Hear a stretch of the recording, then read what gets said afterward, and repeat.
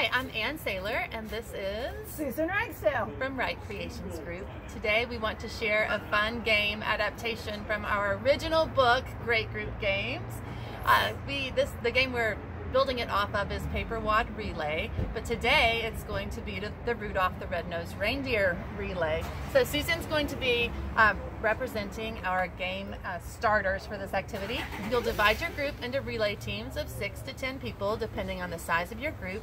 You'll have the first person in each relay team line up. Um, ideally, you give them a set of reindeer antlers, those little headbands with the reindeer antlers. I, I didn't have that today at my coffee shop. Uh, you also want to give the first person each line a piece of masking tape. They're going to roll that piece of masking tape up so it's like a double-sided tape, and then they're going to put a little red paper wad on top of the masking tape, and then they're putting it's it the nose. It's the nose. on the no on their nose to represent Rudolph's nose. Which is why you're using masking tape because painter's tape does not work in this case. It doesn't stick very well; it'll fall off. So.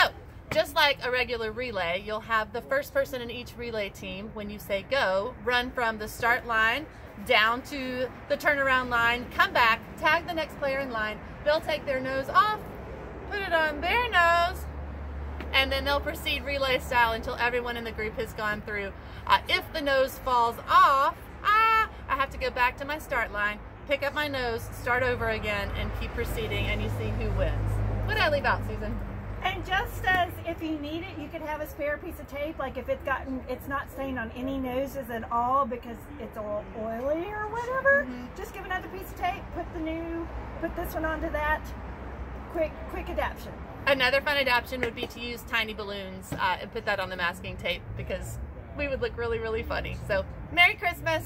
We'd love to hear about your games and... Yes, yes. And if you do this, take a picture and post it in the comments below on this site. So Merry Christmas.